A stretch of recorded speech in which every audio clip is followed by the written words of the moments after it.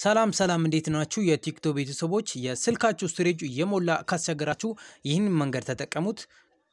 መጀመሪያ ወደ ስልካችሁ file manager ትገባላችሁ።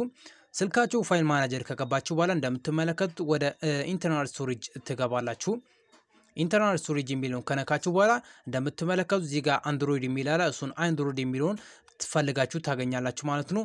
ከዛ Android የሚለውን ወደ ፋይሉ ከገባችሁ በኋላ የተለያዩ ዳታዎችን፣ ሚዲያዎችን የሚጠቅማችሁ ቪዲዮ ነገር ሊኖር ስለሚችል check አረጋችሁ በኋላ check አረጋችሁ በኋላ ካጣችሁ ምንድን ነው የምታደርጉት? እሱን አንዴ Android የሚለውን ጫን አድርጋችሁ ትይዛላችሁ።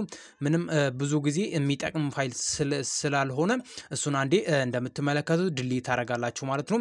delete ስታደርጉ ለስልካችሁ በጣም አሪፍ የሆነ storage ነፃ የሆነው storage ማግኘት ትችላላችሁ ማለት ነው። እናም እንደዚህ ያደረጋችሁት ለስልካችሁ free storage ማግኘት ትችላላችሁ ማለት ነው። ለተጨማሪ መረጃዎች follow ማድረጋችሁን እንዳትረሱ። ቀጣይ አሪፍ ቪዲዮ እንድሰራ like አድርጉት። የ YouTube ቻናሌን ደግሞ profile icon ኡን ነክታችሁት ማግኘት ትችላላችሁ። እዛም ብዙ ቪዲዮዎችን ማግኘት ትችላላችሁ። YouTube ቻናሌን subscribe ማድረጋችሁን እንዳትረሱ። በቀጣይ በአሪፍ ቪዲዮ እስክንገናኝ ድረስ peace bye bye።